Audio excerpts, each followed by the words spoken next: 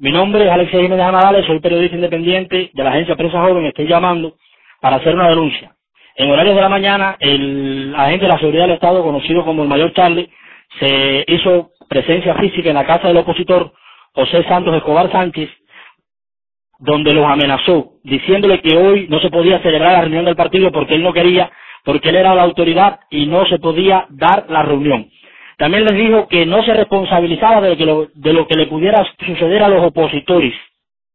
Por lo que estamos haciendo esta denuncia para que el mundo conozca que cualquier cosa que le suceda a un opositor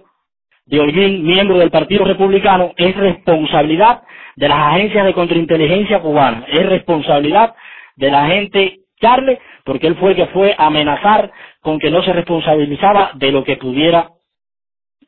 suceder dijo que la reunión no se podía dar violando los derechos que tenemos nosotros como ciudadanos, violando la Carta Universal de Derechos Humanos, donde se habla de que tenemos derecho a libertad de reunión. Dijo que era la autoridad, parece que él piensa que es la autoridad para violar los derechos que tiene cada ser humano desde el momento que nace, como dice la Carta Universal de Derechos Humanos, que todos nacemos libres y nosotros los cubanos somos libres, por lo que estamos haciendo esta denuncia que el represor Charlie está amenazando en el horario de la mañana activista del Partido Republicano y lo hacemos responsable a él junto a los cuerpos de contrainteligencia cubana de cualquier